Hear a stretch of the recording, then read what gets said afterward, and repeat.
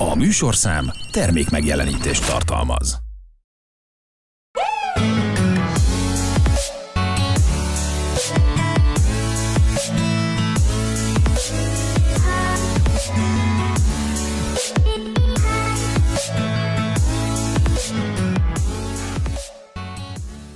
Szeretettel köszöntöm Önöket, a nálatok mizut látják. A mai műsorunkban a táncé a főszerep. Szeretném, hogyha mai adásban megismernék azokat a vendégeket, akik a Székesfehérvári Táncművészek Szövetségének tagjai. Sajnos mindenki nem tud egyszerre itt lenni a műsorban, de talán mondhatom, hogy az alapítók, illetve tagok itt vannak azok a kiválóságok, akiket mi a híradásainkban gyakran bemutatunk önöknek, de nem tudjuk annyira mélyen megbeszélni velük azt, hogy egyébként nál, náluk mizu, mondhatom ezt így. Úgyhogy a mai műsort ennek szálljuk. Szeretettel köszöntöm a stúdióban Bán Tímát. Köszöntöm a nézőket én A Tercia Start Egyesület elnökét, ezt ki kellett, hogy puskázza, mert hogy sokféle nevetek van. Itt van velünk Barta László is, a Székesfehérvári Táncművészek Szövetségének elnöke. Szeretettel köszöntöm a tévénézőket én is. És hát még van egy pár titulus, majd azt is mind felsoroljuk, remélem, ha az adásidő engedi. És itt van velünk Majoros Andor is, az Alba Régia Táncegyesület, illetve Táncegyüttes művészeti vezetője. Menedzsere. Menedzsere, így van. Szép estét Köszöntelek. Köszönöm. Örülök, hogy itt vagytok. Hát azt elmondhatom a nézőknek, hogy így az adás előtt már egy jó kis társaság alakult itt ki, jó hangulatban vagyunk, úgyhogy ne is vegyetek ebből vissza egyébként. honnan az ismerettség? Akkor egy kicsit beszéljünk erről, mert hogy oké, okay, hogy Táncművészek Egyesülete, de még nem menjünk ennyire előre, ti azért jó régóta ismeritek egymást, ha jól sejtem. Ki szeretne kezdeni? A hölgyeké az elsőbség. Akkor kezdem én. Hát ugye Bandival együtt nőttünk fel az Alba Régia Táncegyüttesnél, Utánpótlás csoportokban természetesen nem mindenki rögtön profin kezdte, ő ott is maradt. Ott ragadtam. Ott ragadtál, de én is 17 évig ott volt, illetve 15 évig táncoltam ott, és utána a Kodolányi Táncegyüttesbe mentem át a főiskola miatt. Úgyhogy a tánc az nálam már hat évesen kezdődött, a barátság is, ismerettség is, meg az albarégiásokkal az a mai napig tart, hiszen ugye a városban ők egy fontos személyiséget és egységet alkotnak, és hát Lacival pedig szerintem egy tíz éve lassan már ismerjük egymást, ő ugye nem székesfehérvári, úgyhogy kicsit így később jött az ismerettség, de a tánc miatt egyből ötleteltünk, és tulajdonképpen mint kollégák is dolgozunk együtt, nem csak barátságban. Uh-huh. Jól mondom? Így, így, abszolút így. Hát, én a magam részéről a tánc. Tehát mikor idejöttem, azon gondolkodtam, hogy mi a közös bennünk. A tánc és a tánc szeretete. Tehát szerintem ez hozott minket össze, ez kapcsol minket össze, aztán, hogy ki, hol, mikor találkozott és milyen okból, ö, olyan szövevényes szerintem, hogy azt elmondani nem tudnánk. Én is voltam az Albának a tagja, de nem táncosként, hanem voltam az Alba táncháznak gondoka. Kulcsmester. Igen, tehát hogy, hogy, hogy, ott is jelen voltam, de nem minden az ismerettség a Vandival. A Timi ugye elmondta, hogy honnan. De legfőképpen az, hogy, hogy szerintem a tánc szeretete köt össze minket, és, és hozott minket össze. És a Timi, ahogy elmondta, én, én ugye 2010-ben jöttem Fehérvárra, és azóta vagyok Fehérvári. Én Biharsarki gyerek vagyok, Békés Csabai, de hát szokták mondani, hogy senki, egy proféta sem csinálhat semmit a saját hazájában, úgyhogy itt Fehérváron találtam meg azt a lehetőséget, ami, ami a tánccal a gondolataimmal is találkozott, és a lehetőséget is megkaptam a várostól, a vezetéstől, a táncosoktól, akik a táncot szeretik, akik a táncot támogatják, úgyhogy, úgyhogy én, én így vagyok jelen most már Székesfehérvár tánc életében. Na hát mellettem ülő párost pedig Timi tényleg gyerekkorunk óta az Alba műhelyébe, aztán Kodolányi, Kodolányis ifjú szárnybontogatós korunkba, ifjú titán korunkba, közös bulikba jártunk. Laci pedig párja, Timi révén is, meg hát ugye a Vörösmarty Színház tánckara és az Alba Régiás mag volt, hogy egy, egy társulatot alkottatok, és, és nem, nem kerülhettük ki egymást. És például a Steppen Style stúdió az ugye mielőtt jelenlegi formáját elérte, az Alba Régia a táncházba üzemelt, még a kisebbik lányom is járt oda hozzájuk, és nagyon nagyba köszönhető az, hogy ő ilyen jó néptáncos lett, hogy az kezdetén elcsípte ezeket a testudat uh-huh.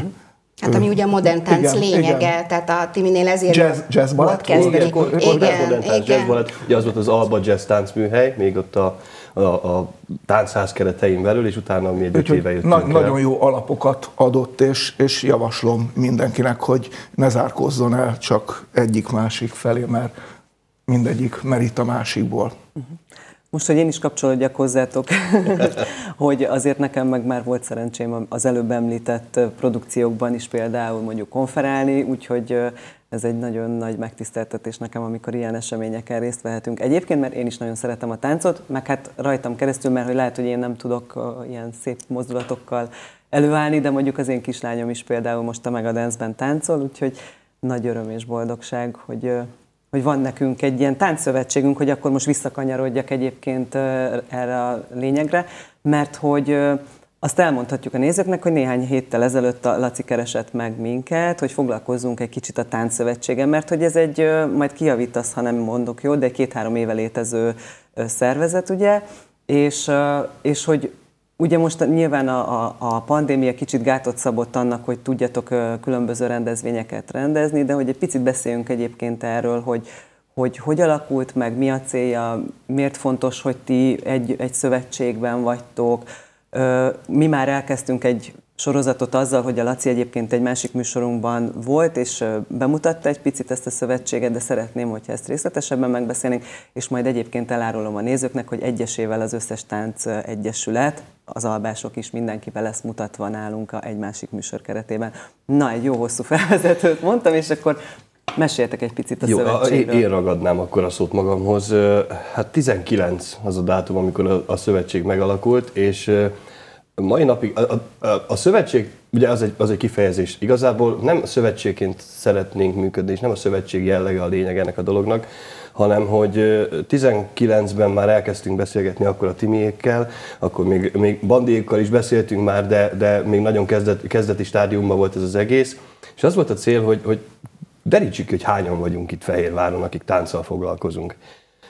Akkor ez 48 klubot jelentett, amit a pandémia megtizedett, és jelen pillanatban 39 tánccsoport, táncklub, tánccal foglalkozó egyesületcsoport, műhely, nevezzük ki mit a saját helyén, foglalkozik itt most Fehérváron tánccal ami szerintem egy hatalmas szám, és, és ez nem jelenti azt, hogy ez a 39 csoport, ez mind tagja is ennek a szövetségnek, már, már jogi formában. Én azt gondolom, hogy mindenki tagja, hiszen Fehérváron élünk, Fehérváron alkotunk, ha nem is jogi, jogi formában, de, de mindenképpen tagjai vagyunk ennek a közösségnek, hiszen, hiszen egy a célunk, hogy mindenkinél táncosok legyenek, mindenki fejlődjön, mindenki megtalálja a saját táncstílusát, és, és, és abszolút ez volt a kezdeti gondolat, hogy akkor, akkor csináljunk valami olyat, ami, ami esetleg azoknak is többet tud segíteni, akik, akik nem tudnak a marketing közelébe jutni, akik nem tudnak, mondjuk csak 10-15 táncos van a, a, a kis műhelyükbe, és nem tudnak megjelenni, nem tudnak Fehérvár színesítésében részt venni, de mégis valahogy kerüljenek föl, és, és hát mostan rájutottunk arra, hogy már saját weboldalunk van, próbálunk saját programokat szervezni, és ezt próbáljuk úgy tenni, hogy ez, ez senkit ne bántson, senkit ne sértsen, mert hát tudjuk azt is, hogy, hogy nagyon sok rétű évtizedek óta, és ennek egy igazán nagyon jó alapillére az Alba régia, aki, aki szerintem nem, nem, nem lehet elmenni mellettük semmilyen úton, is szerintem senki nem is szeretne. Úgyhogy a, a legnagyobb tisztelettel ö, köszönjük az albásoknak, és most rajtad keresztül, Bandi, hogy, hogy léteztek és vagytok Fehérváron, mert ö, mert azt gondolom, sőt, kicsit megragadnám, hogy olyan, olyan marketingetek van most, hogy, hogy, hogy, az, hogy az, az tehát, hogy úgy, úgy megjelentek most, annyira felfrissült formával vannak a néptáncot bevonzani, ami, amit bárki megrigyelne szerintem. Átvenném a szót. Köszönjük szépen, és ezt át fogjuk adni a marketing osztályunkra, Kenyér Áginak és kollégáinak, és bizony most, hogy ugye több hónapra oktatási intézmények, illetve kultúrintézmények, Vörös Marti Színház, művelődési házak zártak be. Büszkén mondom, hogy az Alba Régia székháza, a táncház folyamatosan a megemelkedett közüzemi díjak ellenére is menetelt, és pont ennek a marketingnek köszönhetően decemberben is volt, januárban is mesenép előadásunk, ahol miközben az országban folyamatosan zártak be a műfházak, és ez bizony a marketingnek köszönhető, És pont azért, meg nyilván a táncosoknak, akik mindent beleadtak, szabadidejüket, munkájukat is áldozva erre, és úgy gondoljuk, hogyha egy folyamat valahol megakad, megszűnik, azt nagyon nehéz újraépíteni, és Inkább azt mondtuk, hogy jó, visszaveszünk, de hál' Isten Fehérvár közönsége, mintha mi sem történt volna, ugyanúgy állt hozzánk, és köszönjük a méltatást. Hát igen, azért a szívecsücske vagytok ennek a területnek szerintem itt székes. Hát a legnagyobb múltal rendelkező Így van. táncegyesület. Így van. És reméljük jövővel is. és egyébként ti hogy csatlakoztatok a szövetséghez? Mi igazából, amit Laci is mondott, jogilag nem vagyunk tagja, hanem mind barátilag, szellemileg, szakmailag, ugyanis az Alba Tánc Egyesület rengeteg országos szövetségbe vagyunk, tehát éppen elégbe ahhoz, hogy, hogy még egy plusz ilyen jogi formának eleget tegyünk, de itt az elmúlt évek, például a tavaly augusztusi összművészeti gála is mutatta, hogy egy szólításra ott termett a Style Studio, akkor a, a Kortárs Balett, a Fehérvári Alba és egy fantasztikus gálát csináltak, illetve nagyon jó volt ez április 29-én látni, amikor az albásokkal elfoglaltuk újra a Vörös Marti Színházat, és közben pedig a ö, város tánc stúdiói és szakosztályai pedig színesebb és színesebb ruhákba, fiatalok, idősebbek, Hát az, az nekem nagyon tetszett, amikor az egyik szünetbe, a próbák szünetébe kimentünk oda a felső társalgóba, a büfébe, és lenéztünk, és egy ilyen line dance stúdió, idősekből álló, de iszonyú lelkes hölgyek és urak ott tolták a, a sortáncot, úgyhogy ez nagyon jó a érzés. táncot, teljesen nagyon, nagyon jó érzés kezdve. volt látni.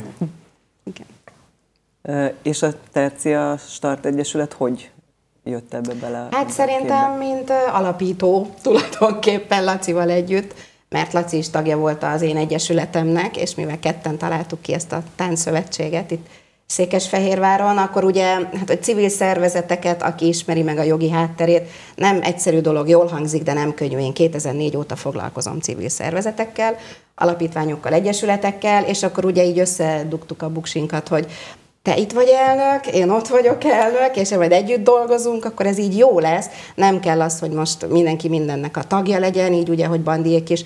Attól mi még egy szövetségként működünk együtt, keressük egymást, hívjuk egymást, együtt dolgozunk, együtt lépünk fel a város rendezvényein, csak ugye valami alá mindig be kell bújni, most ez a szövetség, ez, ez jól hangzik, és jogilag azért kell valami, kicsit ugye mondom a pályázatok miatt is, nagyon fontos ugye hát a bevételi forrás az hiszen mi igyekszünk a legtöbb rendezvényt ingyenesé tenni, vagy, vagy tényleg kedvezményes áron, hogy minél többen jöjjenek, és nem csak városi, hanem megyei rendezvényekké is kinőni magunkat, mert hát tudjuk, hogy a kultúrára kevesebb pénzt szánnak az emberek sajnos, mert mindig másra kell a pénz, de ha már táncol a gyerek, ugye az már nekünk jó, mert akkor a szülők jönnek, a családok, a hozzátartozók, de, de mindezt figyelve minél nagyobb, szélesebb körű rendezvényeket szeretnénk tartani, ahhoz pedig kell egy kis bevételi forrás, és a pályázatok erre nagyon jók. Uh-huh. Úgyhogy jó is volt így a szövetség emiatt, hogy akkor így is próbálkozunk több területen,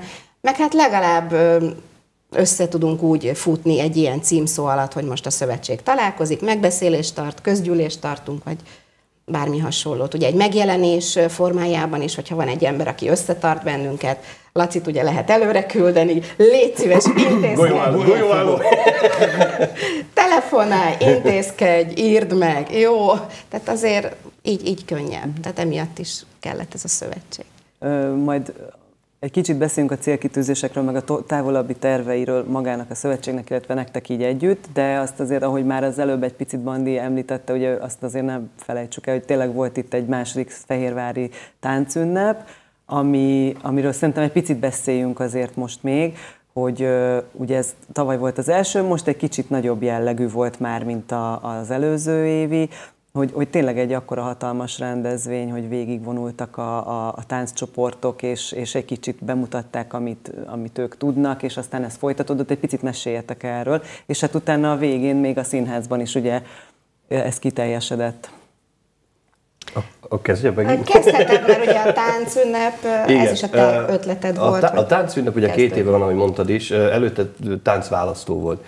Ennek volt egy kis hercehurcája, mert a nagy táncválasztó létezik ma Magyarországon, amit a táncművészeti, vagy a, mi az a főiskola és egyetem, egyetem, most már egyetem, illetve a TOSZ, a Táncprogramosok Országos Szövetsége szervezet, most már csak a TOSZ szervezi jelen pillanatban, és nagyjából egyszerre indítottuk el. Ugye nekünk már beadott pályázatunk volt ebben a névvel, el is indítottuk, ezt meg is beszéltük a TOSZ-szal, és ők, ők akkor jeleztem feléjük, hogy mi ezt megpróbáljuk átavanzsálni egy másik név alá. Ez lett a Fehérvári Táncünnep. Tehát igazából már a harmadik alkalommal tartottuk meg, csak második alkalommal ezen a néven, és próbáltunk olyan, olyan közösségkovácsoló címet, nevet adni ennek az egésznek, ami, ami nem, nem egy emberre húzza rá, nem egy csoportra, nem egy, egy közösségre, hanem a teljes közösségre, és aki, amiben bárki bármikor részt tud venni, úgy, ahogy éppen szeretne, ahogy tudna, nem kisajátítva semmilyen módon, semmilyen felületet, semmilyen lehetőséget, Ugye pont ebből adódóan a bandik nem tudtak eljönni, mert a Robival beszéltem akkor, hogy ugye, mivel aznap ők is éppen gálát tartanak, ezért nem tudtak ezen most részt venni. De például a, a Balett Színház kért segítséget abban, hogy, hogy, hogy közösen próbáljunk meg Fehérvár tánc, tánc szerető közönsége felé nyitni, és mi segítettük őket, ők segítettek minket, tehát ott is van egy nagyon jó közös együttműködés. És egyre többen vannak, akik, akik ahogy mondtam, ez nem, nem szeretem ezt jogi formának látni, ahogy Timi elmondta, igen, ez egy kötelező rossz, de, de ez, egy, ez, egy, ez egy szövetség a jó értelemben. Tehát nem egy jogi formában, hanem, hanem abban, hogy én ebbe tudok segíteni, te abba tudsz segíteni, ezt tudjuk csinálni, azt tudjuk csinálni. Tehát van egy, van egy olyan alappillér, amit, amit soha nem szabad, és nem is szeretnénk mi sem ezt itt elmondjuk nyíltan, őszintén, a, a, az a gála, amit, amit nem, azt még a Botos Jó, Józsiék csinálták. Lassan, 50 éve. Igen, tehát hogy, hogy egy olyan, olyan dolog, amit, amit nem, nem célunk és nem is szeretnénk, hiszen egy, egy olyan alappillére a városnak, egy olyan színfoltja minden, minden táncvilág napja környékén, ami, ami megfér bármilyen más egyéb program mellett. Tehát én azt gondolom, hogy, hogy minél több dolgot csinálunk, persze egyeztetve, mert az, az sem jó, hogyha, hogyha egyszerre történik minden, mert akkor egymás elő vonjuk el a nézőket. De, de pont ezért jó a szövetség lényege, hogy, hogy, hogy tudunk beszélni és kommunikálni. És ezt polgármester úr szoktam mondani, hogy, hogy, hogy annyira örül neki, hogy a táncos berkekben kommunikáció folyik, ami máshol nagyon kevés. Tehát nálunk, nálunk valahogy, bár azért erősítsetek meg, hogy azért itt is vannak féltékenykedések. Tehát, hogy táncos berkekben, bár, táncos berkekben azért ez is egy működő dolog, művészemberekről lévén szó, de valahogy mégis itt Fehérváron ez működik. Tehát, hogy, hogy, hogy megbeszéljük, kommunikálunk, te ezt csinálod, te azt csinálod, segítjük, ebbe tudunk segíteni, ahogy, ahogy hívtak minket erre a Bandi által említett tavalyi ősztánc művészeti gálára is a királyi napok alatt. Tehát, hogy, hogy azt gondolom, hogy, hogy amíg tudunk kommunikálni, és amíg, amíg ezt a szövetség tudja segíteni, és, és abszolút kiemelném a segítséget és nem az irányítást, addig ez működni fog tudni az, azon az úton, amit, amit annól elképzeltünk 19-ben. Mm. És, és mondom, én, ezt, én nagyon hálás vagyok, és ezt most így vihasarki gyerekként mondom, hogy, hogy, hogy itt, itt befogadó közösségre találtam abban, amit, amit nekem annót nem hagytak meg, megoldani, vagy megcsinálni. Tehát, hogy, hogy itt, itt, itt nem tudom, vala, valami jó széljárás van, vagy... Hát a viharsarokban vihar van, itt meg béke van. A béke. De, de, hogy, de hogy tényleg, tehát, hogy a, a, a tánc, táncberkein belül Fehérvár és Fehérmegye valahogy, valahogy így az országban kiemelkedik. Tehát bárkivel beszélek az országban így táncos berkekben, és elmondom, hogy hány csapat van, és így szá, száj, van, nézik, hallgatják, hogy, hogy ez így nem, nem, nem lehet. De nézz hm. utána, ott van a weboldalon is, lásd, kérdezd meg őket, mindenki itt van és csinálja a dolgát. Hát így visszakanyarodva a Fehérvári táncünnepre, ugye ezt láthattuk, hogy nagyon színes tényleg a paletta, és akkor ezek után ugye, hogy felvonultak, meg felvonultatok, és ugye megmutattatok egy kis ízelítőt, utána még azért veletek Timi folytatódott ugye a Köfén műfázban. Picit mesélj arról, hogy ott mi történt. Bizony folytatódott, délre már oda ki kellett térnünk, mert jött a közönség, és akkor kezdtük el a táncválasztót, amit ugye már tavaly meg tavaly előtt is. Egyébként nagyon nagy sikere van, most egy kicsit szerintem az időpont nem volt jó, mert tényleg rengeteg program volt a városban, táncversenyek is voltak, ugye ne felejtsük el, mi fesztiválokat, meg egyéb fellépéseket szervezünk, meg azon veszünk részt, de rengeteg táncverseny is van itt a városban és a környékén is. Na de ez a táncválasztó, ez egy nagyon jó dolog, mert hogy jött a közönség, kipróbálhatták azokat a tánc táncokat, táncstílusokat, lépéseket, amiket mondjuk láttak itt délelőtt a belvárosban, meg hát készültek is rá, van, aki szalszázni akart, van, aki a néptáncot, vagy bármilyen társas táncot választotta, és tavaly-tavaly előtt még nagyobb közönségünk volt, idén egy kicsit kevesebb, de nem akartuk abba hagyni, tehát ezt a táncválasztót ezt folytattuk. Közben a beszélgetések zajlottak ugye a színházteremben, a köfémben, hívtuk ugye a szakelőadókat, Budapestről hívtál több vendéget is, és az érdeklődők meg mondhatni, hogy a diákok is, mert ugye akik ezen a területen szeretnének tanulni, foglalkozni, sok olyan érdeklődő is eljött, aki meghallgatta ezeket a szakmai előadásokat. Például volt sportlövő is, aki eljött, tehát hogy nem táncos volt. A táncvilágnak Jó rendezvényen volt? Igen, abszolút. abszolút. Ugyan, igen, bocsánat, csak, csak így bele, ugye a beszélget, be, igen, beszélgetés a táncról, ez, a, ez, amit a Timi is említett, ezt próbáltuk kiötölni annó, és ennek az lenne, és az lett a lényege, hogy olyan dolgok, amik a táncot körülölelik, mm. nem maga a tánc feltétlenül, az adott stílus, hanem ami körülöleli a táncot, amiről sosem esik szó sehol, az legyen bemutatva, legyen egy beszélgetésbe bevonva a néző, és aztán fönnmaradjon ez a, az, az interneten, tehát ez mai napig visszanézhető a tavalyi is, az ezévi is, és ebben az évben, ugye a sportlövőt miért említettem, a Testnevelési Egyetemnek a pszichológia és, vagy milyen pszichológia tanszékvezető professzor asszonya jött el, a Lénár Tágota, és ő, ő sportlövő, olimpikon sportlövő. Hát, hogy ő tartott előadást a teljesítménykényszerről, a teljesítmény szorgalom témában. Most ebben az évben ez volt a téma, és minden évben próbálunk mondszolgatni egy olyan témát, ami, ami a szülőt érdekli, ami a diákot érdekli, a sportedzőt érdekli, de valahogy így, ha csak nem megy utána, akkor, akkor úgy nem, nem, nem nagyon van megtalálható módon sehol.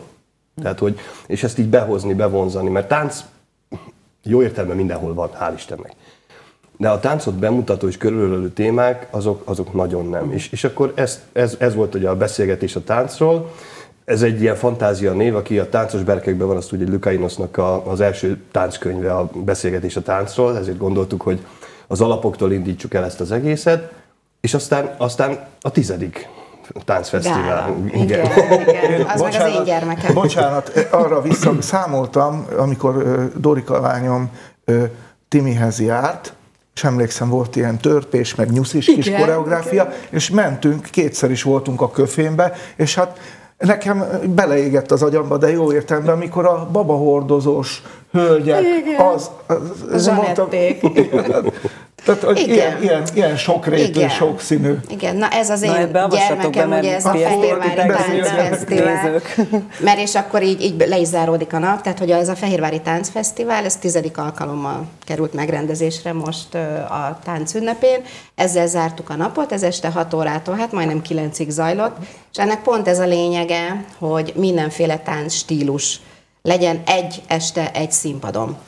És ugye mivel a tánc, az rengetegféle előadója lehet a kicsitől az idős szenior korosztályig, de hát lehetnek kismamák is, kisbabával is, van egy babahordozós csoport, akik szintén táncolnak, gyönyörű koreográfiáik vannak, ők akkor igen felléptek. Én erre a fesztiválra egyébként mindig mindenkit meghívok, és akkor ugye hát ki kell szelektálni, hogy ki tud jönni, ki nem, mert hogy véges a műsoridő, hát most is volt 18 tánccsoportom aki fellépett ennyiféle stílusban uh-huh. egyébként mondhatni. És hát szerintem hát ez nekem a nagyon nagy szerelem, hogy ez, ez létrejött, és ezt mindig támogatják, hogy, hogy a, a közönség is, tehát mindig teltházzal, mindig nagyobb helyszínt keresek egyébként, mindig próbálkozom, de ugye a Covid miatt ez is leállt egy picit, akkor ugye segítenek a táncosok, a tánccsoportvezetők, jönnek a szülők, úgyhogy ez, ez szerintem a legnagyszerűbb dolog, úgyhogy ezzel a gálával zárult az a napunk, és reméljük, hogy ez így is folytatódik majd. Hát már a táncünnepén, mert hát ugye közben egy... És hát Ti meg ott gáláztatok, igen, a, a színházban. Mi, mi, gála, mi este, este gáláztunk. Uh-huh. Most hogy sikerült egyébként? Hát, mint szokott lenni. kis, kis nem, nem csak visszagondolok, ugye tavaly évben, két, két év covidos kihagyás után, amikor az online térben próbáltuk különböző régi archív felvételekkel, illetve az egyik alkalommal még a Puszták Népe Front zenekarunk is egy apáink útján muzsikával emlékezett apáink útjára. Tavaly a művészeti iskolával, illetve az Alba Régia felnőtt csoportja egy estés műsort adott teltházzal, Előtte mindig dupláztunk, mert akkora az igény, most viszont igény lett volna rá, csak a legújabb műsorunk, Majoros Robert által rendezett Verslábak című produkció technikailag és vizuál technikailag vetítéssel akkor előkészületet igényelt egy előadás, hogy nem lehetett volna, nem lett volna idő a két előadás között újra ezt jelezni, beállítani mindent, de hál' Isten a táncházba folyamatosan mennek ezek az előadások, illetve majd a királynapok alkalmával is láthat a kedves közönség ebből kivonatot, tehát mindenki egyszer meg tudja nézni legalább a mesenép darabunkat, vagy a Verslábak című darabunkat. Úgyhogy nagyon jól sikerült. Mint mindig. Szerintem, ha Covid, ha nem, akkor is mindig jó és sikeres a, a ti csapatotok. No, egy picit beszéljünk arról, hogy nálatok Mizu egyébként, tehát, hogy most a tánc területén nézzük meg azt, hogy, hogy most mi az, amiben ügyködtök. Azt tudom, hogy lesz egy néptáncfesztivál például, akkor menjünk vissza rád egy picit. Néptánc Fesztivál az ő, már negyedik éve ünnepelnénk a 25. Királyi Napok Nemzetközi Néptánc Fesztivált, ami ugye 20-ba Covid miatt, nemzetközi jelenlét miatt királynyi napok fesztiválá zsugorodott, és próbáltam, próbáltuk úgy irányítani hazai közreműködőkkel. Nagyon nehéz volt, hogy csak a néptáncra, és inkább Folkfesztivál nevet vettük fel, úgyhogy harmadik éve lesz Királynapok Folk Fesztivál, ahol tavaly öt napos volt, most ugye a gazdasági helyzetre való hivatkozással a városvezetés, illetve a kulturális szervezetek és vele együtt az Alba Régia is meg fogjuk csinálni, fehérvári közönség és az ide látogatók maximális megelégedésére, de például ez a háromnapos fesztiválunk, a Zicsi színpadot ismét birtokba vehetjük. Első nap augusztus 13-án az Alba Régia Aprajon adja fog megmutatkozni, másnap a Magyar Nemzeti Tánc Együttes, Kárpátok Visszhangja című előadásával, illetve az utolsó nap, augusztus 15-én pedig újra a Duna Művész Együttes tavaly már láthattuk. Kalotaszegi műsorokat, most Szépséges Mezőség című műsorokat hozták el, és természetesen a Táncházban lesznek gyerekprogramok, este világzenei koncertek, Ferenci Gyurék, Orevoir, Puszták Népefront, lesz Fészerbuli hajnalig, Paraba, klubest, tehát mindenki aprajan adja, megtalálja kint is, bent is, a neki kedvező királyságot a napokon belül. Akkor most ez, ez a helyzet nálatok, hogy erre készülünk? Erre készülünk. Erre is. Is. És még mire? Hol, mikor? Június harmadika, igen, június harmadikán az Albarégi Alapfokú Művészeti Iskola 20 éves, és a Vörös Marti Színházba egy hatalmas gára keretén belül két előadással mutatkozik meg az a, azt mondom, hogy kb. 220 fiatal, ebbe beleértve a mostani aktív táncosokat, de akik itt nevelkedtek fel nálunk, multidéző régi fiataljaink is, egy, illetve két fantasztikus gála műsorral telíti meg majd a Vörös Marti Színházat. Ez szép. És akkor majd kapcsolódni fogtok egyébként a, egy másik rendezvényhez is, de akkor erről a Timiről beszéljünk, vagy Timivel, mert hogy azt Negyedike. tudom, hogy a, igen, tehát hogy a, a Timiről nem mondtuk el, hogy a válasz tagja, ugye? Is. És is tagja, igen, hát sok, sok minden van itt még, de hogy ti is szerveztek ugye egy hétvégi programot, és akkor egy picit itt most ti kapcsolódtok, egy picit beszéljünk erről, meg hát akkor mesélj egy picit te is, hogy egyébként nálad mi uh-huh. Hát ugye ez a vasárnapi program, ez a trianoni megemlékezés, hiszen június 4-ét írunk majd, Úgyhogy ennek a táncos része szerintem kisebb, de a kultúr része annál nagyobb lesz majd a Zicsi Ligetben egyébként, ami egy nyilvános kis fesztivál, azt tartjuk ott 19 órától, két koncerttel, ugye akkor még egyszer mondhatjuk a puszták népe. És Kon- nincs politikai felhangja a zenekarnak, csak úgy. Így, de egyébként ez jó, hogy mondod, mert hallottam ilyet, hogy hm. Na, majd akkor ezt Ugye... tisztázzuk, hogy, hogy honnan jött, honnan is jött. Az információ. Igen. Tehát ezt igen, ezt mondani kell, ezt sokszor mondani kell. Mivel én is tudom és ismerlek benneteket, én, én is mondtam, ne aggódj, úgyhogy igyekeztem javítani a helyzeten. No, ez a negyedikei vasárnapi program ugye az Icsi Ligetben, erre mindenkit várunk szeretettel. Itt én is csak szervezőként, meg természetesen majd résztvevőként, meg közönségként fogok jelen lenni, meg amúgy is tulajdonképpen nekem ugye már inkább a szervezői munka maradt a táncból, bár azért még táncolgatok is, meg, meg innentől kezdve már lehet, hogy inkább csak a bulik lesznek, és a, a táncelőadások, amire eljárok, mert így a Tercia Start Egyesületnek itt tavaszig tart a munkája, úgyhogy én majd csak jövőre folytatom a további szervezéseket. Uh-huh. Jó, a másik munkádról még beszélünk. Ja, jó. jó, Laci, nálad, Mizu? Hú. Figyelj csak, egy picit meg kell, hogy álljunk, Mond. mert hogy én egy csomó mindent ide felírtam. Ugye Gorzium gimnáziumhoz mi közöd? Igen.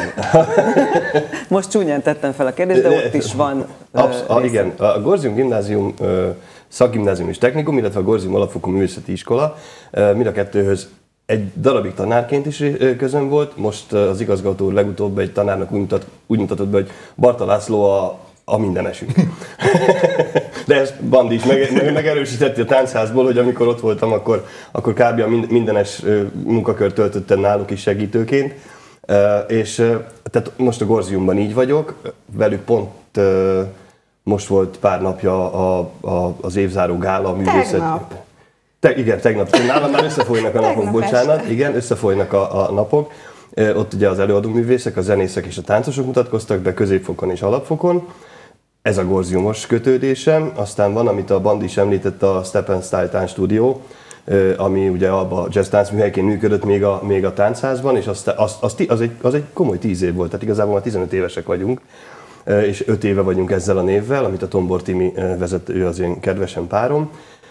Tehát abban a értelemben vagyok a tánchoz kötötten. Jelen pillanatban dolgozom a Fehérvári Színházban táncos színész énekesként, meg dolgozom a Centrál Színházban prózai színészként, meg zenész zenész színházas emberként, meg, meg ugye van ez a szövetséges díj, amit itt játszok. Igen. szóval, hogy, meg hogy még van, van egy táncélet KSL. Igen, tehát a, a, a táncélet az, az pedig ugye a stúdiónak a, a, a fenntartására jött létre. Tehát a, az azért indult el, hogy legyen egy olyan egyesület, ami a, a, a Stephenson táncstúdió ugye az nem egy jogi forma. Ezt már ugye ma beszéltük többször, hogy ezek a jogi formák ilyen kötelező rosszak. És akkor a táncélet lett az, ami, ami, ami igazából működteti és próbálja ezeket a dolgokat előrevinni. És most ugye, ahogy mondtam, öt évesek leszünk, tehát mi most arra készülünk, hogy június 28-án a színházban lesz egy gálaműsorunk, ami az öt éves jubileumi gálaműsorunk, első ilyen kis jubileumunk. Most a szövetség nem készül a nyárára semmivel, pihenéssel, majd júliusban, úgy június végéig ugye még a középiskola is tart, meg az alapfok is tart. Visszatérve a Gorziumra, ott weblapot készítek, épületet fenntartok, meg stb. Mert ráérsz. Mert ráérek, igen. De szerintem ezt vagy csinálja az ember így, vagy, vagy sehogy, nem tudom. Tehát szerintem bármelyikünket megkérdeznétek, akkor a felszín alatt ezer más dolgot csinálunk. Hát nem véletlenül a band is belefogott a zenélésbe, belefogott, hát sose hagyta abba. Úgyhogy szerintem mindannyiunkban van valami kis, kis plusz, ami kicsit kötődik is hozzá, amit úgy, úgy legmaximálisabban csinálunk, de, de közben meg, meg de szerintem egyikünk se tudna csak egy dolgot csinálni. Hm. Írtam fel még egy operett színházat is. Az operett színház az már, az már egy nagyon, az 2010 előtt volt. Ott az operett színházban musical ensemble tagja voltam hat évig, így a Rómeóban mutató Mozart, szépség. Tehát amikor, amikor a nagy, nagy darabok mentek, akkor én volt szerencsém ott lenni, és 1500 előadást eljátszani ott hat év alatt. Ez Úgyhogy... igen. az, egy, az, egy, az egy szép, szép időszak volt. Aztán itt voltam a Fehérvári Színháznál, ott is volt egy öt évem, tehát 10-től 15-ig itt voltam. Azóta szabadúszó lettem így a színházi berkeken belül, és akkor most vagyok akkor Pesten éltem, aztán Fehérváron dolgoztam, és aztán leköltöztem Fehérváron, elkezdtem visszamenni Pestre dolgozni, csak hogy ne unatkozzak. Az igen. És hát múltkor is láthattunk téged Gorziumban, Florálián. Igen, egy, egy, egy szerencsés felkérés volt a Matuz Jánostól, hogy egy prózai szerepet rámosztott, lubickoltam benne, tehát hogy az abszolút nekem írta, de ezt ő mondta is, hogy, hogy amikor írta, akkor a, a karaktereken gondolkodott, és tudta, hogy kivel akarja eljátszatni, Úgyhogy nekem az nem volt nehéz, mert tényleg rám íródott, és, és egy nagyon jó hangulatú kis előadás kerekedett, táncosokkal kint a Florálián, és hát olyan, olyan színész kollégákkal, akikkel élmény volt együtt dolgozni. Úgyhogy azért mondom, hogy szerintem itt annyira jó a művész légkör, a művész élet Fehérváron, hogy, hogy én ezt bár tizenéve itt vagyok, de, de még mindig külsősként abszolút belsősnek érzem magam. Tehát, hogy, hogy így befogadott ez a közöns, közösség valahogy. Uh-huh. Picit visszakanyarodva a táncra, hogy látjátok, hogy a mai világban mennyire népszerű? Én látom, hogy nagyon népszerű, mert nagyon sokféle rendezvény van például, meg sokszor járunk ö, egyes táncegyesületeknek akár a kis műsorát megnézni, és azt látom, hogy egyre több gyerkőc is nálunk is ugye van, meg hát a saját környezetemben a gyerkőcnek is az összes ö, osztálytársa táncol valahol, tehát hogy az előbb is, hogy mondtad, hogy 18 fél, féle, tehát hogy ez nagyon sok, hogy, hogy ennyi féle tánc stílus egyáltalán létezik, hogy hogy látjátok a mai nap, most valószínű kicsit több lehetőségük van a gyerekeknek, mint régen. Jóval több. Jóval. Hát amikor én kezdtem, csak balett volt és néptánc. Meg társas tánc. Igen. Igen, az is volt. De az, az a is felnőtteknek, volt. nem? Igazad Igen, van. igen. De igen, tehát hogy az nem 6-8 éveseknek volt a társas tánc, amikor én kezdtem el a tánccal foglalkozni. Hál' Isten, ugye anyukám nagyon szereti a táncot, és ő iratott be, de akkor is ugye az kellett. És Sári néninél kezdtem a balettot. Én is jártam Sári Természetes. Na jó van. És akkor mentem át az Alba régiába, ugye Bélához, Sanyihoz, Glazúhoz, stb. Tehát, hogy, és most, most De ami a, igazából ami a pozitívum, az a negatívum is. Tehát az, hogy akkor volt három, akkor az ember elment ide, oda, vagy amoda. Amikor 39 van, akkor ide-oda, amoda, amoda, amoda, amoda, amoda. Tehát hova menjek? Van, aki igen, több helyre is járatja a gyerkőcöt, egyébként nem biztos, hogy Én, szerencsés. én, én inkább a pozitívum, pozitívumát látok egy ilyen városba, ami a bajnokok városa volt kiírva az előbb. Ugye van egy fantasztikus kosárcsapatunk, ö, jégkorong csapat, ö, futball, egyéb, és emellett nem szippantja el teljesen a gyerekeket, A fiúkat. Pont, ö, nem, pont. Azért- ö, Jó, mondjuk néptáncban lehet, hogy több a fiú, máshol nem. Igen, az én csoportomban Igen. például 10 lány van és 14 fiú, úgyhogy ritkaság. A szerencse. Igen, úgy vált. És igen. az a jó, hogy ugye ez nem egy verseny sport, nem egy verseny, hanem a közösségi élmény. A sportolóknál akár az egyéni, akár a közösségi megmérettetés. A mi területünkön is hál' Isten van megmérettetés, de az korán sem olyan véremenő, hanem örök barátságokat szül különböző táncstílusokon belül is, műhelyek között is, vagy átjárások vannak. És én ennek a legjobb példáját most a májusi sportmajálison láttam, amikor tényleg Dunát lehetett rekeszteni a különböző sportegyesületekkel, de mellette ugyanúgy megfért a színpadon a összes többi táncegyesület Fehérváron, sőt az Alba Régia Művészeti Iskola még toborzó táncházat is tartotta jövő tanévre, úgyhogy nagyon mozgalmas volt ez a, az elsője. Igen, itt, itt, itt most, hogy mondod, ez a sport, uh-huh. szerintem egy, egy, egy, egy, egy olyan téma, amit ha elkezdenénk boncolgatni, hogy akkor most mi művészet vagyunk, vagy sport. Mert amikor támogatásról van szó, akkor a művész szervezetek azt mondják, hogy sport vagyunk, amikor, amikor a sport felé mennénk, akkor azt mondják, hogy művészet vagyunk, és aztán mi meg mindig megoldjuk magunknak művészek, mű, sportosok, művészek, hogy, hogy legyen egy közösségünk és legyen egy támogatottságunk, és valahogy szerintem ugye a, le, a legkézenfekvőbb kommunikációs forma a tánc. Tehát, hogy teljesen mindegy, hogy beszélsz-e, beszéled-e a nyelvet. Ha látod a táncot, érted. Még akkor is, ha sosem táncoltál, néptáncot, modern táncot, társas táncot, érteni fogod. Mert, mert a legegyszerűbb dolgokká ö, sarkítja le a, a mozdulatokat. Tehát mozdulatban nem lehet hazudni. Ezt, ezt egy tanárom mondta még az egyetemen, a főiskolán, és teljesen igaza van. Tehát, hogy amíg az ember táncol, nem, nem, lehet, nem lehet mellé beszélni. Nincs mellé beszélés. Tehát néptáncban is, a páros táncban megfogom azt a lányt, megfogom a társamat, csoportban táncolok, egyénben meg tudom mutatni magam, önmagamat tudom megmutatni, azt, azt az érzelmet, amit én gondolok, nem azt, amit rám erőltetnek. Úgyhogy a, úgyhogy a tánc az, az több, mint sport.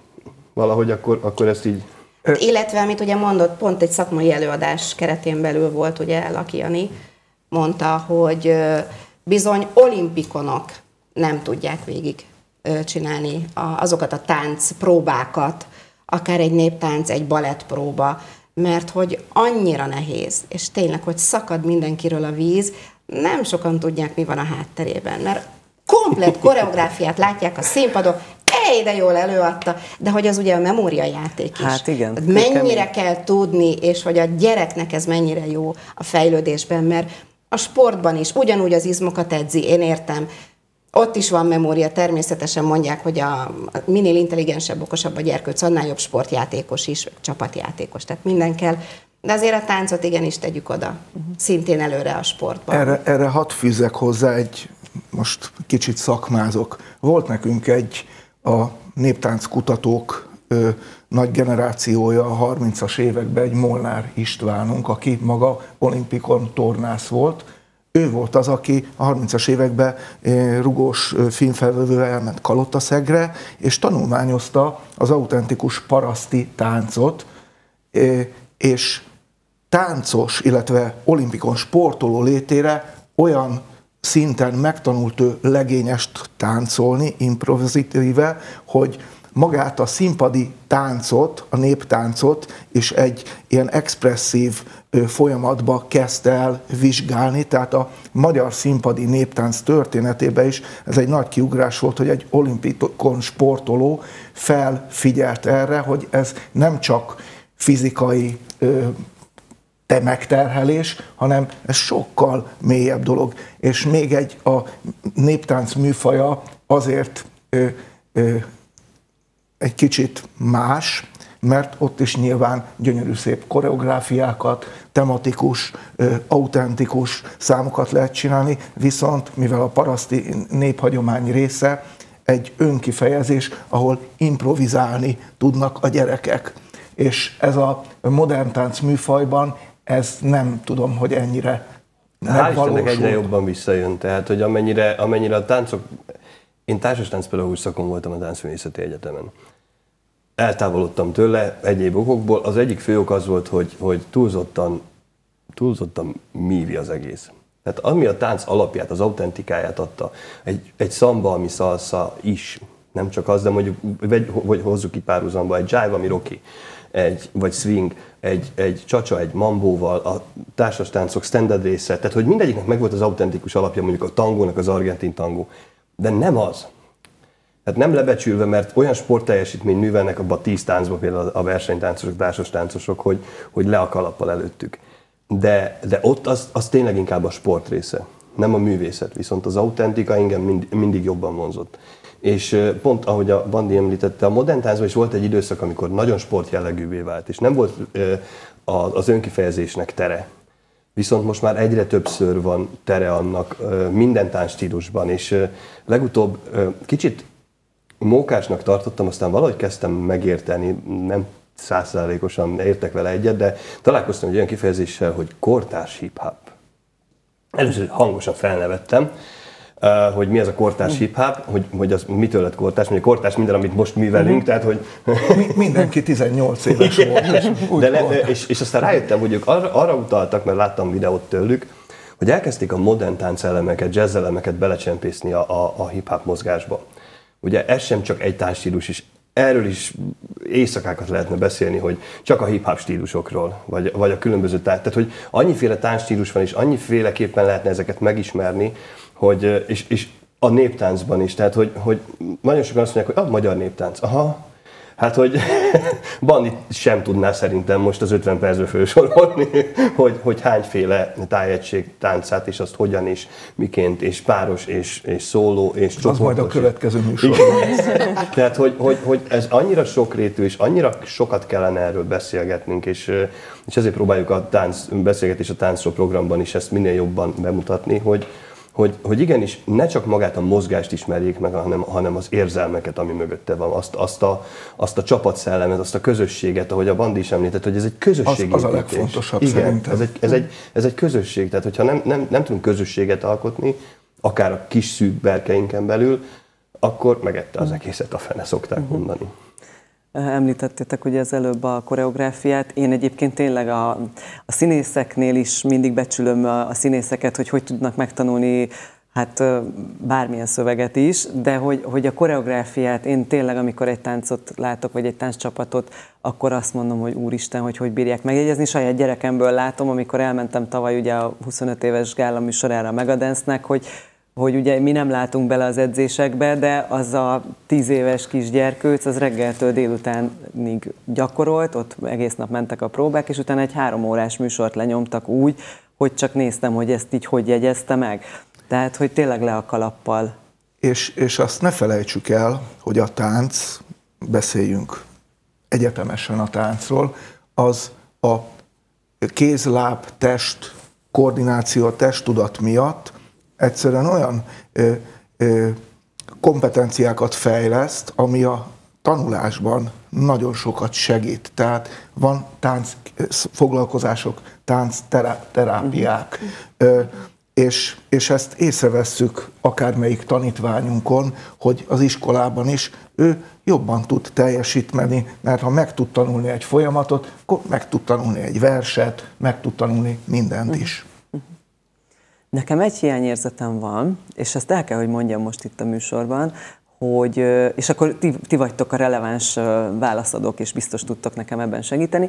Én ugye biztos tudjátok rólam, illetve a nézők is sokan tudják, hogy a fogyatékos ügyben én nagyon élharcos próbálok lenni, és szerettem felkarolni ezt a dolgot, és ugye miután magam is egy ilyen autista gyermeket nevelő édesanyja vagyok, én folyamatosan keresem a lehetőséget és én egyszerűen nem találok, de ti biztos, hogy tudtok mondani, mert hogy, hogy olyan kevés hely van, ahova be lehet integrálni ezeket a gyerekeket, akik mondjuk Például sport. Most csak ha a sportra gondolok, ugye nem biztos, hogy azt mondják egy csapatnál, hogy na, gyere hozzánk, és akkor lehet, hogy egy kicsit ügyetlenebb, akkor már egy idő után kilóg a sorba, és azt mondják, hogy de inkább akkor ne.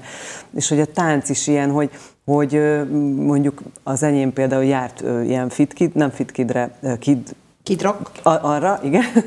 és hogy oké, okay, hogy befogadták, elfogadták, tehát soha nem éreztünk semmilyen ellenszenvet, hogy most ne uh-huh. csinálja, de mégis azért érződik, hogy hát a többi azért máshogy ugrik. Tehát, hogy, hogy viszont de nekik is kellene... Van.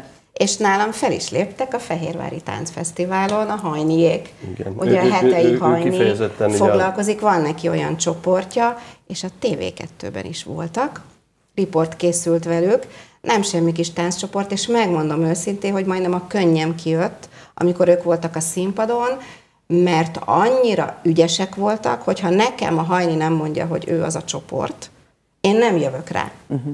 Tehát azt láttam ugye, hogy, hogy ilyen vegyes társaság. Azt láttam, hogy kisebbek, nagyobbak. Kicsit furcsa volt nekem, hogy, és több volt a fiú, érdekes abban a csoportban, de azok a spiccek, azok a forgások, tehát annyira szépen pontosan dolgoztak, azt láttam, hogy szinte remektek, mint a nyárfelevél. Reflektorfény, színpad, tudod, de hát annyira ügyesek voltak, úgyhogy most tudok uh-huh. én ajánlani, mert bizony van székesfehér. Annyi, annyit tennék hozzá, hogy igen, a hajnék abszolút ebbe az irányba mennek, és nem kisebbítendő az ő érdemük, viszont mint végzett pedagógus azt tudom mondani, hogy ehhez pszichológusnak is kell lenni. Tehát sajnos ez egy olyan dolog, hogy attól én nem tanulok meg metodikával tanítani egy fogyatékos gyermeket, felnőttet, bárkit, egy fogyatékkal élőt, hogy, hogy megtanultam tanítani a táncot. Tehát ahhoz azért sokkal több kell.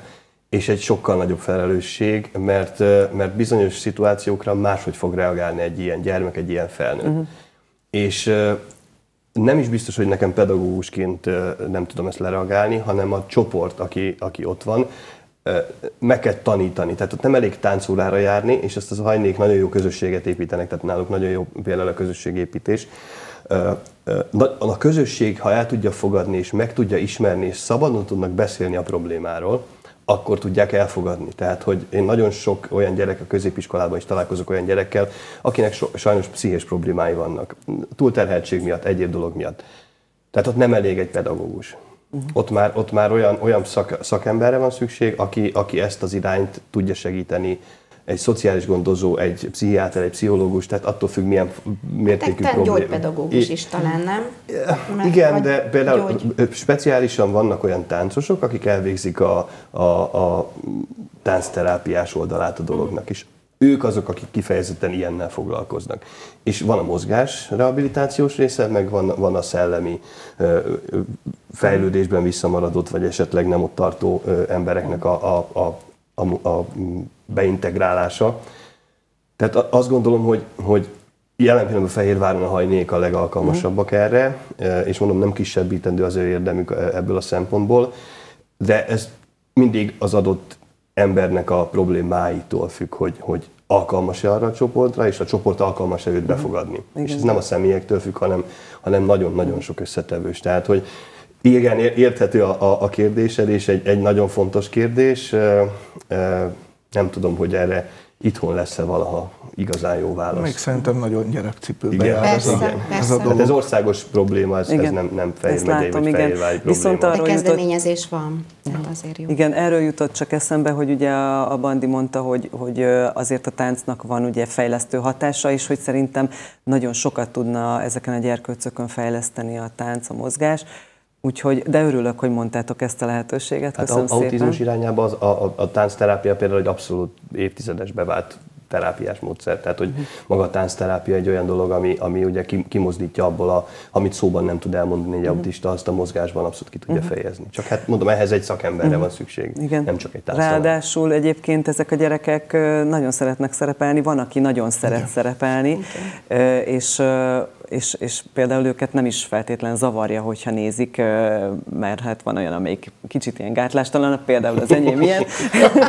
Úgyhogy csak egy, csak egy kis, kis kitérő erről, hogy ugye szerveztem a, a, a Fogyatékosság Világnapjára ezt az Ölelés az Elfogadásért című rendezvényt, és ő volt az első fellépő, és mondtam, hogy mondták, hogy ott kérdezték, hogy biztos, hogy fel fog menni, menni a színpadra, és mondtam, hogy igen, fel fog menni, mert ő neki ott nincs senki neki. Tehát, hogy, hogy, hogy ha kell, akkor, akkor bármit megcsinál, úgyhogy nem, nem érdekli, hogy az emberek mit gondolnak. Úgyhogy szerintem ezért is lehetett ez ennyire szép így kívülről ez, ez a produkció, mert, mert mert ők ezt magukért csinálják. Na, ezt a zárójelet bezártam, mert még nem túl sok ö, műsoridőnk van, viszont mindenképpen szeretnék végigfutni azon egy picit néhány mondatban csak, hogy honnan indultatok és hova érkeztetek. Picit már azért egy, egy-kettőtöknél beszélgettünk múltról is, de egy picit beszéljünk arról, Bandi, kezdjük veled, hogy te hogyan csöppentél bele a táncba? Hát ezt már szerintem ebbe a stúdióba, vagy abba, vagy a rádióba, vagy újságnak. Abban a székben biztos, hogy sokszor elmondtad a szemben. Nem baj, azért, erre mindig büszke vagyok, és ö,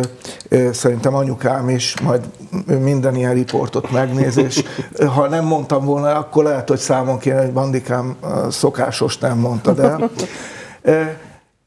azt mondja, hogy 1977-ben volt egy olyan műsor, még az 97-ig is ment a országos, azon az egy darab országos csatornán, aki mit tud. Ott voltak ugye különböző műfajok, zene, próza, vers, néptánc, és ott 7 éves koromban így, így ültem, és láttam egy ilyen fiatal legényt, vagy nem tud, akkor még nem tudtam, hogy úgy hívják a fiatal férfit, hogy legény, most már tudom, én abban már kinőttem.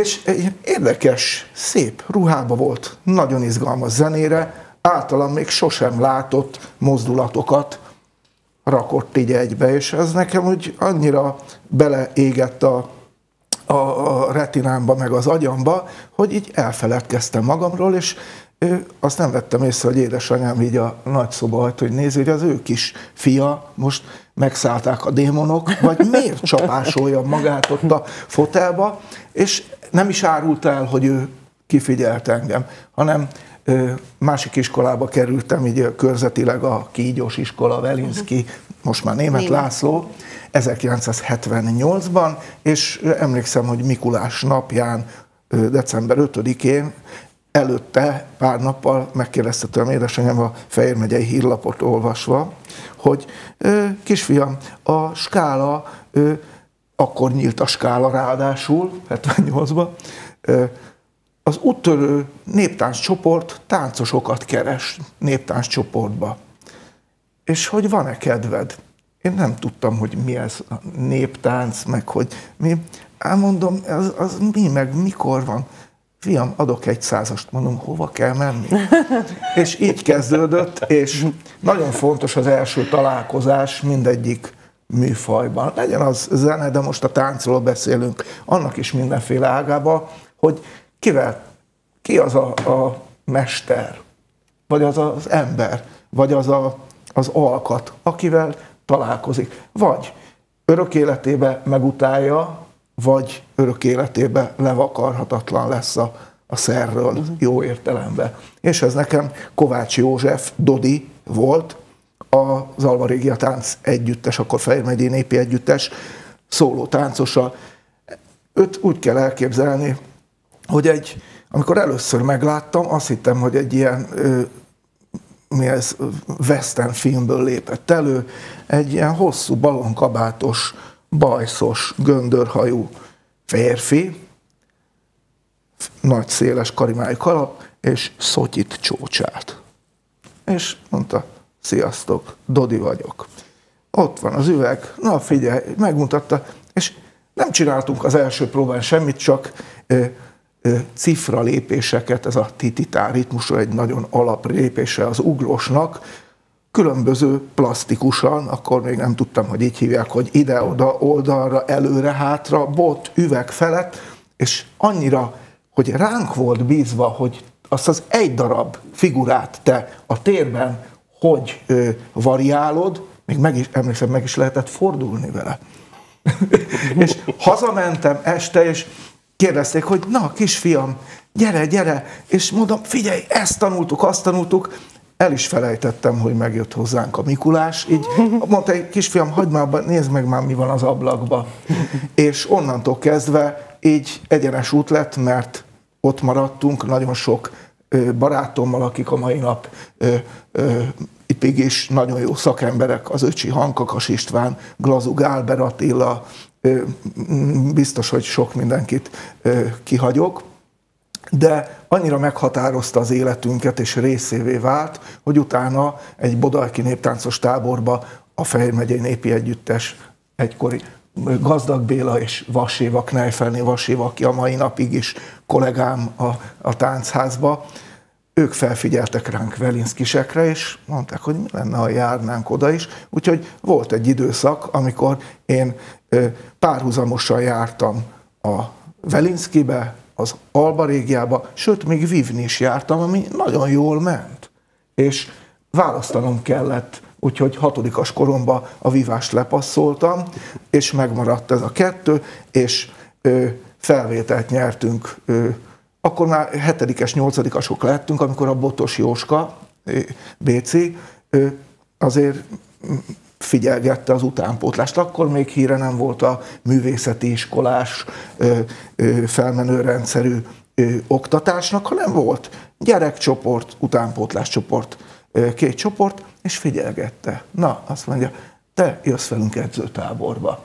És nyolcadikas koromban, amikor egy zsurát, Zsurávki Zoltán, ugye a Magyar Nemzeti Táncegyüttes vezetője, vagy egy Batyut Farka Zoltán, akik a pesti hivatásosokban, ő tanított ott táncot, mi meg néztük, hogy mi hogy jövünk ehhez, és emlékszem, hogy gyimesi táncot tanítottak, ami a mai napig is egy páros technikai tánchoz meg kell érni az embernek, és mi mondtuk, hogy Jóska bácsi, akkor még Jóska bácsisztuk, kimehetünk legényest tanulni a fiúktól, mert egyszerűen hát az, a korunknál meg akkor még eléggé kétdimenziós gyerekek voltunk, nem tudtuk, de most már hát meg, meg kell érni minden tánchoz. Na és akkor az Alba régiához kerültem, a középiskolába nagyon jó volt, hogy mindig megvolt a napi rend, és ez fontos egy tánc egyesületnél, a rendszeresség. Nekem mindig az volt, hogy oké, okay, ötre végezni, mert fél héttől kilencig,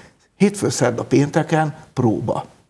És nagyon, nagyon jó volt, akkor még az ősfehérvár étterem üzemelt, még a cigányzenészek húzták fél adag rántott sajtot lehetett kapni, és egy kólát 12 forintért. És akkor mi középiskolások a próba után közösen, meg az együttes tagjával beültünk, és már akkor a közösség iránti igény így belénk ivódott, a mai napig is ez, ez tart. Mondjuk nem az Ősfehérvárba járunk már, de, de nagyon fontos volt ez abból a szempontból, hogy a barátaimat ott lehetem meg.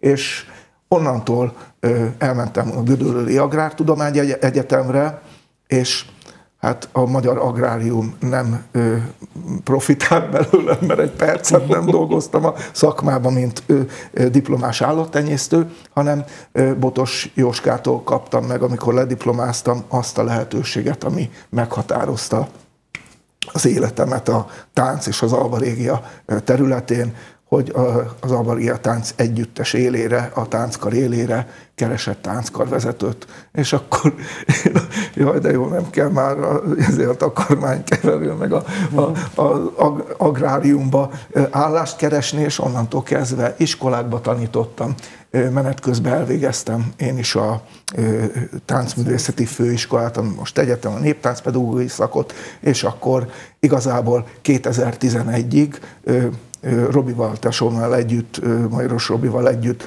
az Albarégia művészeti vezetői voltunk, közben a művészeti iskolában voltak csoportjaink, és akkor hát a táncosság, az én alkatom, azért, azért nem egy egészséges dolog a néptánc talpon állandóan zöttyenni, és ez valakinél, aki olyan alkati rendet, rend, ö, ö, alkattal rendelkezik, mint mondjuk én, hát a csípőm kikopott, úgyhogy túl vagyok két csípőprotézisen, de jobb, mint újkorában, és a tánccal nem kellett leállnom, aktívan már nem táncolok, gyerekeket tanítok, úgyhogy ez ennek köszönhető, hogy én áttértem a menedzsment oldalra, és nagyon jó kiegészítjük egymást Robival, ő csinálja a szakmai részt, én pedig megkeresem a rábetevőt, és segítek elkölteni. Úgyhogy ez, ez a közös munka a mai napig, és a jövőben is remélhető, hogy gyümölcsöző lesz. Bízunk benne, hogy így is marad minden. Uh, Timi, most már tényleg a műsoridőnk végéhez jut, úgyhogy legközelebb, le, legközelebb majd még egy műsort szánunk rátok, de azért röviden fussuk át, hogy, hogy uh, hát uh, nem tudom, hogy, hogy hogy van ez, de hogy egy ilyen közel két éve ismerjük mi egymást, de hogy akkor ezek szerint mi a Sári néninek a jazzbalettjén is Elképzelhető, hogy összefutottunk, de még hogy a Kodolányira is lehet, hogy nagyjából egy időre bejártunk. Ah, fiatalabb vagy te nálam, én úgy tudom. De azért, de azért, azért kerülgettük egymást. Igen, no, a Kodolányi igen. után merre? Ö, hát igen, ugye balett volt néptánc 17 évig, és akkor a főiskolát elvégeztem, ugye akkor hát egy nő ugye karriert is épít, meg szerelmet keres, és megszül, és hát akkor a gyes alatt nem annyira ment a tánc. Én akkor álltam neki szervezni egyébként, mert, mert a táncot azt nem csak mivelni szeretem, hanem nézni is, még én a táncosokat is szeretem, és mivel nagyon sokfélét, akkor találtam ki a táncfesztivált, itt Fehérváron, úgyhogy 2012-től elkezdtem szervezni, minden évben tavasszal tartottam egy ilyen nagy fesztivált, szép gálaműsort, és kicsit akkor vissza is csöppentem a táncvilágába. Mondjuk én kicsit el is költöztem Fehérvárról, azt visszajöttem, úgyhogy voltak ilyen kilengések, de Sőt, a tánc... kolléga is voltál, mondhatjuk Igen, ezt. mert hogy a média is ott volt, igen, a média is nagy szerelem, a tánc is, meg a jogi pálya, úgyhogy közben ugye nekem az is a foglalkozásom és, és a tánchoz visszatérve pedig, amikor én ezt a táncfesztivált kitaláltam, és akkor a lányom megszületett, mint kiderült, hogy hál' Isten ő egy jó táncos, sőt nekem ő a legjobb és ügyes, hál' Isten sokkal ügyesebb, mint én, és beirattam a táncházba, és én is úgy gondoltam, hogy néptáncolni fog, és neki a Timi néni nagyon szimpatikus volt, és akkor amit ő csinál, kicsit balettmozdulatok, kicsit modern tánc, hogy ő oda szeretne járni, úgyhogy négy éves kora óta ott táncol, most már lassan nyolc éve, a Steppen Style-ban, ugye, akkor az Alba Jazz volt, most a Steppen Style, és akkor a modern tánc nekem is megtetszett, úgyhogy én is elkezdtem modern táncolni, a kis senior csoportba én is beiratkoztam, úgyhogy néhány évvel ezelőtt az nekem is egy kis hobbiként megmaradt, Úgyhogy az életemet szerintem így teljesen végigkíséri, mert a lányomat is menedzselem, akkor ugye a városi fesztiválok életébe próbálok részt venni a táncosokkal. Folyamatosan tartom a kapcsolatot, mert hogyha a civil nap van például, az Icsiligetben, vagy bárhol a belvárosban, ott is a kulturális részét szoktam szervezni azzal szoktak megbízni, úgyhogy nekem ez így folyamatosan kitart, így hat éves korom óta. Egyébként nem tudom én már, hogyan kezdtem el ilyen részletesen, nagyon jól tudsz visszaemlékezni. Te én, én úgy tudom... nem, szerintem anyukám, tehát én úgy tudom, anyukám iratott be, mert uh-huh. hogy a tánc az jó. Úgyhogy hálás is vagyok neki, én is megtettem ezt a lányommal. No, Azért ennek örülök, hogy említetted a, a senior részét, Aha. majd egy mondat erejéig, csak mielőtt még a Laci megkapja azt a két másodperces szót, bocsánat, hogy, hogy azért ez nagyon jó, hogy ugye nagyon sokféle táncról beszéltünk, és ugye most az előbb beszéltük, hogy azért a fogyatékkal élő gyerkőcök is tudnak lehetőséget találni, és hát a szeniorok is, hát mondd el légy szíves gyorsan, hogy, hogy hova mehetünk mi, akik táncra vágyunk felnőttek. Azt kell eldönteni, hogy melyik stílusban szeretnél táncolni, hogy melyik zene tetszik, mert hogy mindenhol nagyon jó a közönség, ugyanis ismerek több olyan tánc klubot, ahol, vagy táncegyesületet, ahova járnak 25 fölöttiek, ugye ők már szeniorok bőven, de már talán a 20 év fölöttiek is ha. szenioroknak számítanak, de, hogy én hagyjuk, de a 30-40 évesek is járnak, táncolni, és vannak olyan hölgyemények, bizony anyukák, akik így munka után, sőt, van a lányával jön, olyan is van, táncolhatsz hip-hopot, modern táncot, balettot is, mert ezek a tánciskolák, ezek mind tartják, úgyhogy nagyon jól tudom, de van, aki 60 pluszos tánccsoportot uh-huh. is vezet, ugye az örömtáncosok például, uh-huh. vagy egy kicsit könnyebb körtánc, ugye, hogyha mondhatjuk, mint egy country vagy salsa, mert hogy ők is tartják. Úgyhogy én tudok ebben segíteni bizony. Itt Fehérváron nagyon sok lehetőség van, be is lehet írni ugye interneten, nem tudom, majd szeretnéd ezt reklámozni, mert hogy ott vagyunk mindenhol a portálokon, mert mi ezeket összegyűjtöttük, és tényleg azt kell ledönteni, hogy melyik stílus tetszik, melyiket bírod, ugye fizikailag, és melyik tetszik, hol érzed jól magad egy, egy lágyabb, kellemesebb, kicsit balett alapokon nyugvó tánc, vagy egy pörgösebb hip-hop tánc jellegű. Minden. Vagy a néptánc. Vagy a néptánc. Mert az Alba Régia szenior csoportja, igen, ahol igen, igen. nem csak 60 pluszos, hanem 80. És egyébként bizony, oda bármikor lehet, mondjuk én, aki soha életemben két nem, lépés na, nem ezt akartam na. mondani, hogy ö, tehát ez nem az a fajta ö, ez, ez nagyon szépen működik, ez főleg azoknak a táncosoknak szól, akik már nem tudják, meg nem tudták az aktív táncot folytatni, de az életük részévé vált, illetve nagyon sok esetben a művészeti iskolás gyermekeink, akik látják a gyerekeiket, hogy mekkora élményt okoz nekik ez a közösségi lét, meg ez a mozgás, valaki teljesen a nulláról indulva iratkozott be annó a szenyor csoportból, csoportba, de mi inkább azt mondjuk, hogy a rendezvényeinken, a táncházainkba lehet kipróbálni uh-huh. ezeket, és, és ott kapcsolódni ehhez Szuper. a Akkor részhez. itt is van lehetőség. Laci, igen, nagy vonalakban gyorsan, már azért hallottunk, hallottunk néhány dolgot rólad, ugye azt mesélted, hogy Békés Csabánról érkeztél. Nekem és... egy tíz évvel később, nekem 88, nem 78. nekem egy tíz évvel később indult, akkor az akkori táncpartnerem, akivel évekig versenyeztem, táncoltam, ő mondta így a barátnőknek így általános iskolában, hogy ők mely társas tánc, fogalma nem volt mi az, hogy társas tánc. Pont ugyanez, de hát kiskamasz gyerek már rögtön-rögtön szerelmes, elmentem utána, ő elment, ő ott hagyta, én ott maradtam, és akkor heti öt napot ott voltam a dánciskolában, ez Békés Csabán, és ahogy a Bandi is mondta, tehát nem mindegy, hogy kivel kezdünk. Tehát, hogy nekem, nekem olyan, olyan tanáraim voltak, akik, akik alapillérei voltak a társas táncnak, Felszáni Nyíri Mária, Felszán Béla, az ő édesapja, Nyíri Lajos hozta be Magyarországra a társas táncot, tehát, hogy olyan, olyan, olyan kvalitású emberek voltak, akik nem csak tanárként voltak jelen, hanem, hanem, hanem egy példaképként, egy, egy, egy, egy olyan emberként, aki, akire napi szinten felnézett az ember. Tehát, hogy én ezt hiányolom most nagyon sok táncosból, hogy én bementem három-négy óra fele a tánciskolába, és este kilenckor jöttem ki. Akkor is, ha nem volt órám. Tehát, hogy engem nem lehetett kirúgdosni onnan. Tehát, hogy, hogy, hogy ez most, most valahogy egy kicsit nem, nem, nem ezt éljük, de nekem ez volt az első, első pár év, az első tíz év, ami ugye nehéz volt. Szoktam én is mondani, mindig az első tíz év a nehéz, nem csak a hegedűben, a táncban is. És aztán én eljött, ott már középiskolában mm, én elkezdtem dolgozni színházban, Jézus Krisztus szupersztár volt életem első darabja ott, ott Békés Csabán, és én harmadik, negyedikben már, akkor még harmadik, negyediknek hívták, nem ez a 11-12, ez sose fogom megszokni. És én már magántanuló voltam, színházban dolgoztam, befejeztem, pont jött a Jackie és egy musical, amiben nem vettem részt, mert elmentem katonának, akkor néztek rám, hogy mi, tehát művész emberként mit keresek én katonaként, de ez nagypapám tiszteletére volt annó. Aztán visszajöttem, de akkor már nem találtam helyen Békés Csabán. És akkor följöttem Pestre, Pesten, hát táncosok szerintem ilyen pestközpontú minden. Akkor elkezdtem a pesti életet, akkor ott a táncművészeti, akkor még főiskola, azóta ugye egyetem.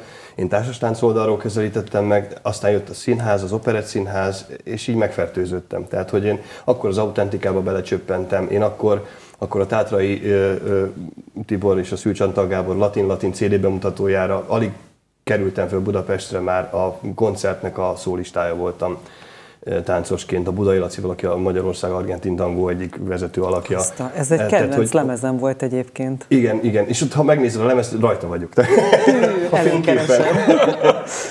szóval, hogy, hogy olyan hihetetlen dolgok történtek velem, és olyan mázlista pályán volt nagyon sokáig, a mai napig, csak most már rendszerezettebben is elő, gondolkodok előre, hogy mit akarok csinálni, de az első mondjuk 15 év a táncos pályából az, az, az, ilyen, az ilyen szerencse. Tehát az, amellett, hogy persze azt mondják, hogy volt tehetségem hozzá, és van tehetségem hozzá, nagyon sok múlott azon, hogy kihez kerültem, hogyan álltam hozzá, mit csináltam, mit vállaltam be, hogyan vállaltam be, jött az Operett Színház, hú, azt is, hát nem, nem tévé, tévé téma, hogy hogyan kerültem be. Mondjuk úgy, hogy a, a Kerény Miklós Gábor, aki akkor vezetője volt, nagyon szigorú ember lévén nagyon kemény meghallgatást tartott, és hát nem vagyok rá büszke, hogy mennyire flagma voltam akkor, de ez akkor neki nagyon tetszett.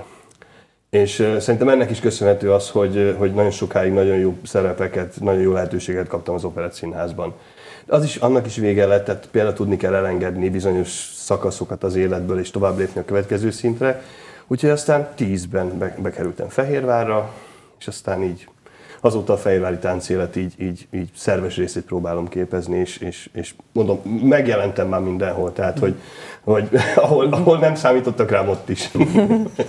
Akkor a kedves nézőknek mondom, hogy aki a Barta László bővebb élet történetére kíváncsi, a fehérvári beszélgetéseket meg Barta kell nézni, mert ugye Vakler Lajosnál éppen Nemrég voltál, ha nem, jól tudom. Voltam még nem voltál? Még nem, akkor még, most még leszel. Most akkor viszont ezt a hiányt fogja igen. pótolni a Lajos, mert sajnos most be kell, hogy fejezzük a műsort, ha nem akarunk az adáskiadó kollégáktól kikapni.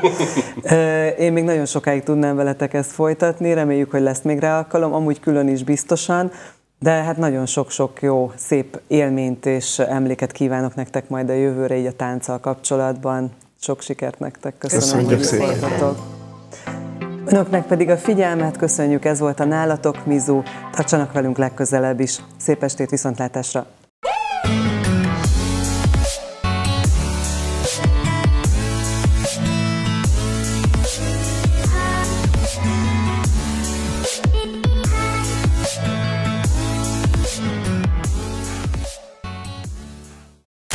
Műsorszám termék megjelenítést tartalmazott.